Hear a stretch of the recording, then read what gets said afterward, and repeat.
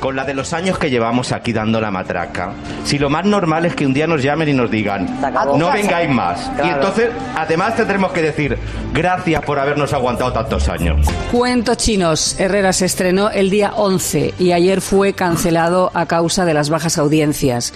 He rescatado ese momento en el que Jorge Javier, su presentador, ya reflexionaba hace unos años con Paz Padilla sobre los finales. Así que ayer, cuando se conoció la noticia, Jorge se asomó a sus redes y se despidió. Llegué al vecindario dispuesto a quedarme por mucho tiempo, pero los alquileres están por las nubes. Gracias y perdón por no haber sabido encontrar la llave de vuestra complicidad. Pilotar un programa de televisión es pilotar un F-18. Y eh, bueno, simplemente un gesto eh, con la mano izquierda o derecha de, eh, estrellas. Sí, es Simple, Eso es así. Sí, sí. por eso la radio es pilotar un barco que ves venir el iceberg si no eres el capitán del Titanic.